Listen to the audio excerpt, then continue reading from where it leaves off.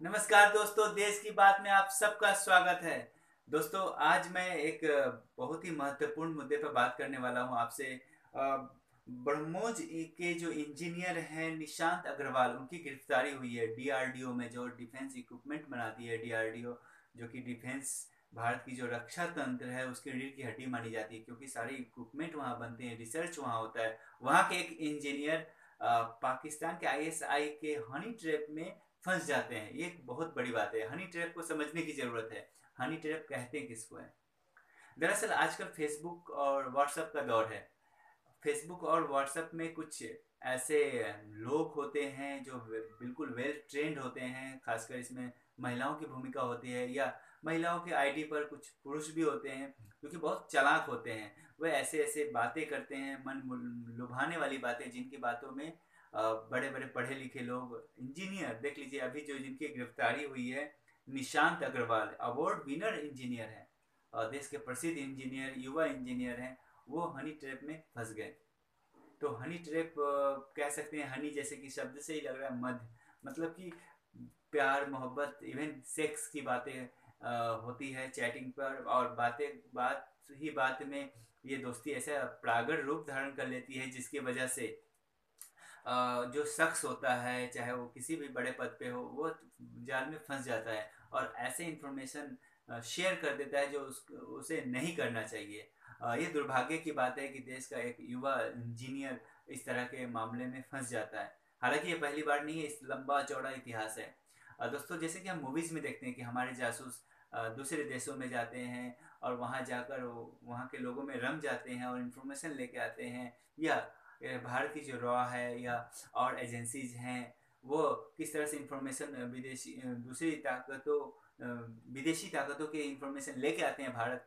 वैसे ही पाकिस्तान या दूसरे देश भारत के जो सीक्रेट इन्फॉर्मेशन है, वो लेने की कोशिश में लगे रहते हैं। और और इसके लिए वो गलत रास्ता भी अख्तियार करते हैं, जैसे कि हनी ट्रैप हनी ट्रैप में भारत के जो उच्च पदों पर बैठे हुए जो जिनके दिमाग में सीक्रेट इन्फॉर्मेशन है, जिन्हें सीक्रेट इन्फॉर्मेशन सौंपा जाता है वो लोग इस चक्कर में फंस जाते हैं। दोस्तों, मैं नाम लूँगा इससे ठीक जस्ट पहले अभी कुछ ही महीने हुए, फरवरी महीने में एक बड़े ऑफिसर जो कि ग्रुप कैप्टन थे एयरफोर्स में, उनकी गिरफ्तारी हुई थी अरुण मारवाहा।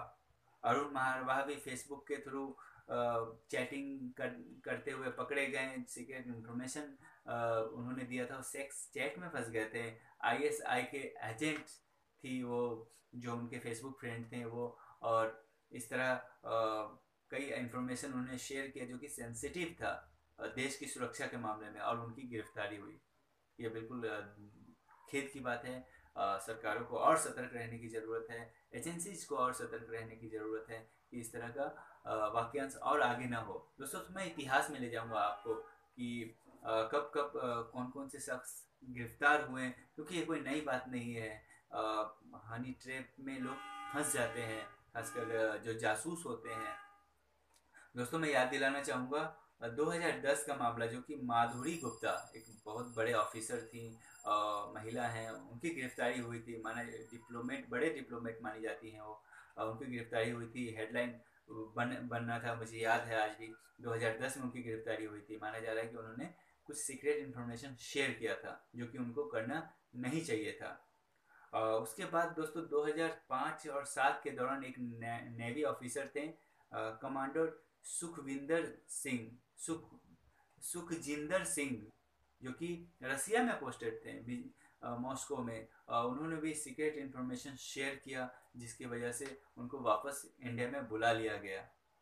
दोस्तों 2008 में 10 साल पीछे आपको ले जाऊँगा। 2008 में भी एक मामला आया था, जिसमें मनमोहन शर्मा, जो कि रॉ के अधिकारी थे, बीजिंग में उनका अपॉइंटमेंट हुआ था पोस्ट बीजिंग में भारत के लिए काम कर रहे थे, लेकिन वो एक चाइनीज़ ट्रांसलेटर के चक्कर में पड़ गए और फिर वही हुआ जो नहीं होना चाहिए था। उन्होंने भी कुछ सीक्रेट इन्फॉर्मेशन शेयर किया, जिसकी वजह से फिर भारत सरकार को उनको वापस इंडिया बुलाना पड़ा। दोस्तों दो 2007 में एक मामला आया था, रवि नायर। रवि नायर जो कि आर के ऑफिसर थे। आर भी रॉ की तरह ही एक रिसर्च एजेंसी है। रिसर्च एंड एनालिसिस सर्विसेज़ इसमें इसके अधिकारी थे रवि नायर। वो हांगकांग में पकड़े गए थे।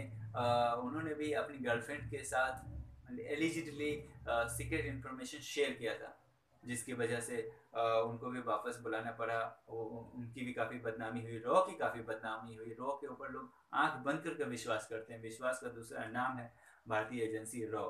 लेकिन इस तरह के मामले आने से एजेंसी की बदनामी निश्चित रूप से होती है।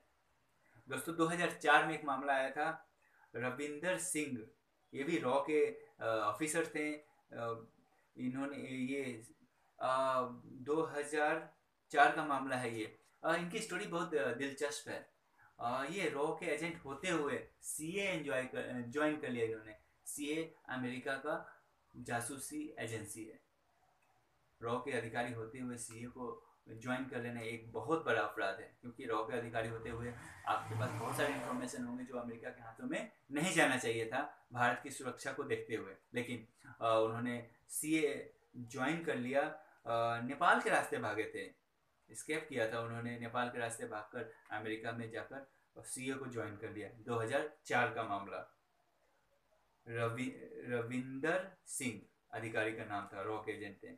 उन्नीस सौ अस्सी के दशक में एक अशोक सैथे हुआ करते थे। उन्होंने भी देश के साथ कहा जाता है कि गद्दारी किए थे और कई सारे इंफॉर्मेशन लीक किया था।